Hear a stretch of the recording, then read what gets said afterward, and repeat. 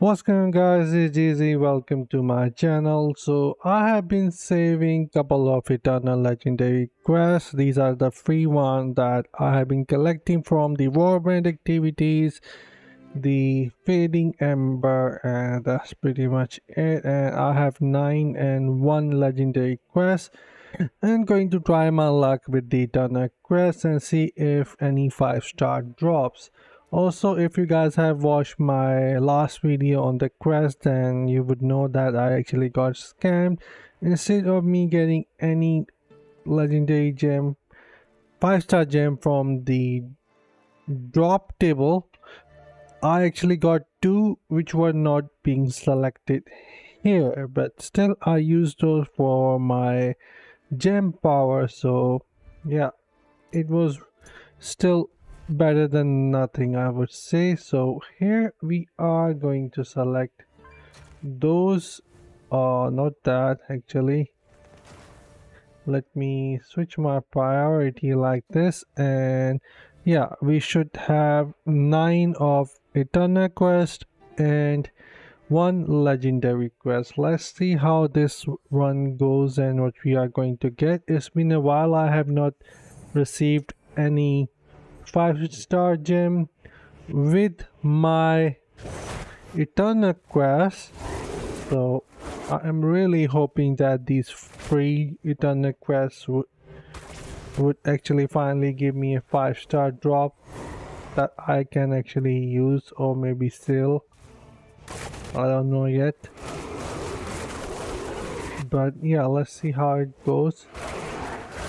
Not encountering many elites. Alright, I'll take the shrine there.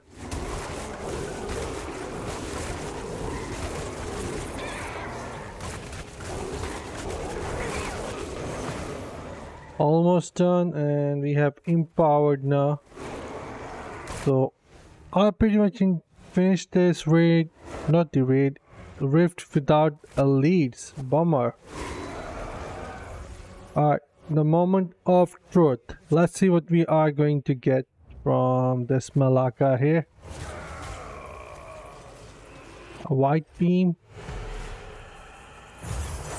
Nope. The game is not giving me any white beam. So I ended up with... Ah, I ended up with one star and two star.